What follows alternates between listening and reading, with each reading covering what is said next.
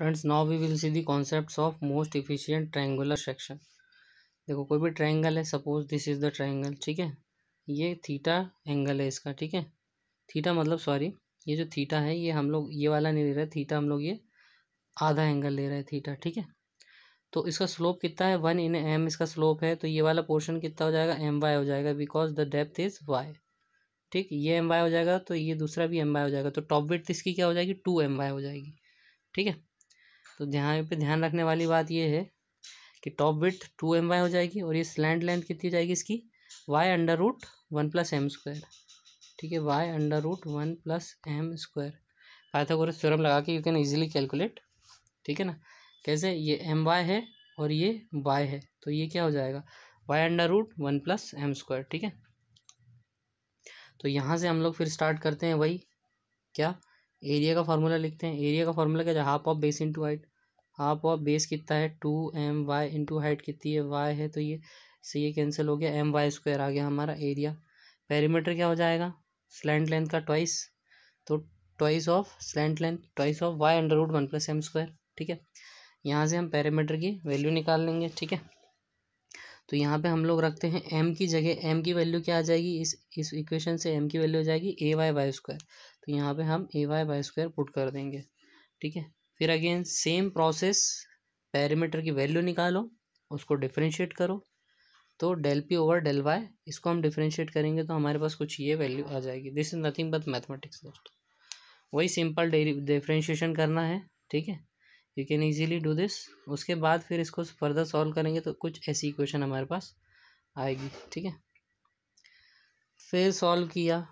फिर अगेन थोड़ा सा और सॉल्व किया, ठीक है? तो यहाँ से finally A is equals to हमारे पास आ गया वाई स्क्वायर ठीक है? मतलब एरिया जो है वो क्या होना चाहिए? डेप का स्क्वायर होना चाहिए, ठीक है? A is equals to M Y square when M is equals to one अगर वन वन वन स्लोप क्या है? ये वन वन का है। इसका मतलब क्या हुआ दोस्तों? ठीक है?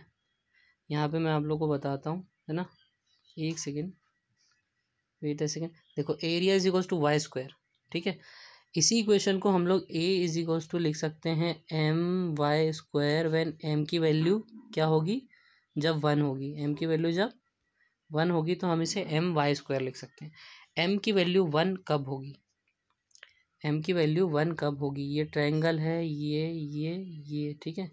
ये ये वन है और ये एम है। तो एम इज़ इक्वल्स टू अगर वन हुआ तो मतलब ये और ये दोनों सेम हो गई this side equal to this side यानी कि जो स्लेंट लेंथ है, वो half of the top width के बराबर हो गई। इसका मतलब ये वाले ट्रेंगल में ये डिस्टेंस और ये लेंथ सेम हो गई, ठीक है? जब ये दोनों सेम हो जाएँगी, है ना? सॉरी मिस्टेक गड़बड़ कर दी थोड़ी सी। ये ये ये ये ये स्लोप और ये वन वन हो गए। जब ये स्लोप वन वन वन हो जाएँगे दोनों के दोनों, इसका मतलब क्या हुआ? इसका मतलब ये हुआ कि थीटा कितना हो जाएगा? थीटा कितना हो जाएगा? थीटा हो जाएगा forty five degree forty five degree हो जाएगा नहीं हो जाएगा? ऑब्वियसली हो जाएगा। क्यों? क्योंकि जब हमारी दो साइड्स है ना परपेंडिकुलर और बेस दोनों सेम होती हैं, किस केस में? जब ये एंगल होता है हमारा फोर्टी फाइव डिग्री ठीक है? है ना? तो इस ट्रायंगल में जब ये ये ये एंगल हमारा फोर्टी फाइव डिग्री हो गया तो ये भी कितना हो गया? Forty five degree. इसका मतलब क्या हुआ? ये टोटल एंगल कितना हो गया? Ninety degree. ठीक बात? तो हमारा मोस्ट इफ़िशियंट ट्रेंगुलर सेक्शन में क्या सीन होना चाहिए? मोस्ट इफ़िशियंट ट्रायंगुलर सेक्शन में क्या होना चाहिए कि जो जो एंगल है टोटल, ये नाइन्टी डिग्री का होना चाहिए। ठीक है? कैसा होना चाहिए? नाइन्टी डिग्री का। है ना? ये जो ट्रायंगल बनेगा, यहाँ पे ये ऐसा नाइन्टी डिग्री का एंगल बनाएगा दोस्तों, ठीक है? तो आई होप आप लोग के समझ में आया होगा फंडा क्या है, टोटल डेरिवेशन हमने कैसे किया, और मोस्ट इफ़िशियंट ट्रेंगुलर सेक्शन की क्या प्रॉपर्टीज़ निकल के आती हैं हमारे पास।